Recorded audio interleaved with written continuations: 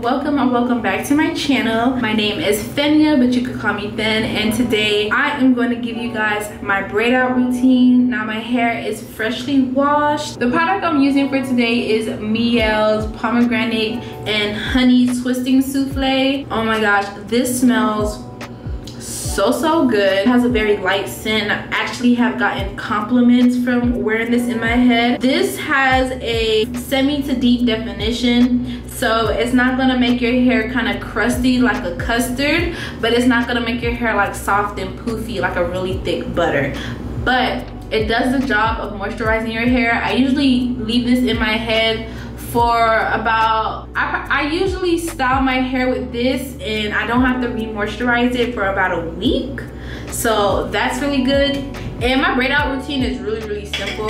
This is what I'm working with. I kind of combed out my hair. Usually my curls clump together but for some reason I was like let me comb out my hair while it was still wet. My key to a really good braid out is making sure that my hair is semi-damp. Like if i'm reapplying a moisturizer to an old braid out i kind of want to mist the hair with water to make sure that it reactivate some of the product that's already there before I apply some more. It really just depends on how thick your hair is, but each section of hair that's going to be braided up should be small to medium. I already smushed it on my fingers, but this is about how much hair, how much moisturizer I'm gonna use on one medium sized section of my hair. Now, a lot of people, if you're heavy handed, you wanna make sure that you don't put way too much product in your hair because it'll cause your braid out to look flaky and mushy throughout the week.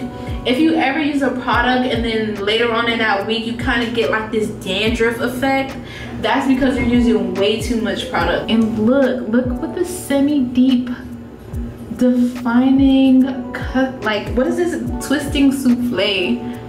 Did to my hair and I didn't even use too much product. Another reason uh, your twist out or braid out might not be working for you, it could be because you're not putting, you're not shampooing your hair well enough and your hair has like a lot of product buildup on it. Because if your hair has product buildup on it and then you go to walk like you go to add more product doesn't act the way it needs to act in order for you to have a successful style. And now i'm just twisting the ends. I always twist my ends. Because when you try to take out this like really small braid at the end you're gonna cause frizz and stuff and not everybody likes frizz and it just messes up the whole bottom part. And that way when you take out your braid out you'll have the bottom all curled up like this. Okay so i'm on my last braid. In the front of my hair i have two twists.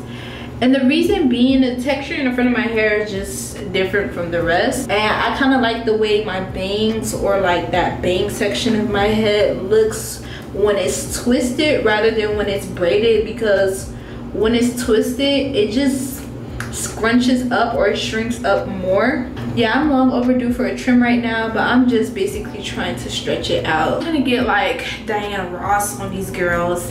And when it gets like that i'm trying to dye it brown like a deep brown with blonde highlights like an ashy. I would insert a picture from my pinterest because i think it's gonna come out really really cute on me especially like i kind of have like this brown skin tone with yellow under um yeah yellow undertone so we'll see how that goes. But these are the braids. I kind of did like a two in the back five in the middle and then i got four on top. Okay it is a new day. It's a new dawn. It's a new day. It's a new life good. Okay, so these are what my braids are looking like the next day. As you can see, the twist in the front are giving much bang energy. This is gonna look really cute. Using a flat portion of my finger, this portion, to press down and release the braid and then usually I kind of like find two pieces and pull. I don't know, like, I gotta see. I'm gonna show you how, how I do it. It's like this, yeah, like you just pull it like that and then it unravels like most of the whole thing. this is what the first portion i'm gonna put the camera back on this side after i do each row or a particular section before i start moving on the braids that's on top of it start separating it make sure not to keep pulling it like this because that motion causes frizz and also causes it to like separate too too much and honestly this shouldn't take no more than like 10 15 minutes so but as you can see i finished taking them out and I put two ponytails just to stretch it out just a wee, wee, wee bit. Um, I don't have a dryer because my dog ate through the cord, so we're just gonna have to work with what we got. My first step is going to be just fluffing it. Gonna hold it down like this and just like fluff it out like that, like I would a pick, like I would a pig. So we're just gonna pull it downward like this and just start like going like that to the hair so that it can just fall more downward and then we're gonna go back and pick the actual hair strands. And just playing with it a little bit making sure that the hair kind of the comb kind of just goes through like this and I'm not going like this. You don't want to do this motion. You kind of want to just like stab it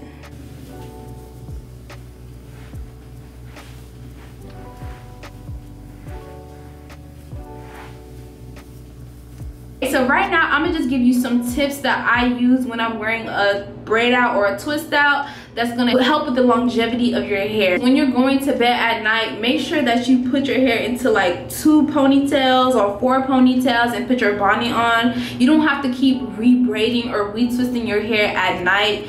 That like if you're doing that you're just causing too much manipulation and it defeats the purpose. Right now this is like more of a shrunken state but as the days go by it's going to get longer and longer. If it's going to be a really hot day you live in florida like i do or you just live somewhere where the climate is really hot always have a rubber band on hand. You never know when it's gonna rain or like the humidity is just gonna mess up your whole hairstyle. That way you can throw it into a puff like as the day like that way you could throw it into a puff. Or if you're not into puffs or you don't like it get like a satin wrap and keep it in your car so that way you can tie your hair up if it rains on it or something happens. If it is humid outside and you you like your braid out but you just know it's gonna shrink on you. I like to do styles where i could do like that looks good shrinking kind of like a mohawk. So like when the mo when you have your hair in a mohawk for some reason it just looks good. I don't know. But that is all i have for you guys today. I hope you enjoyed this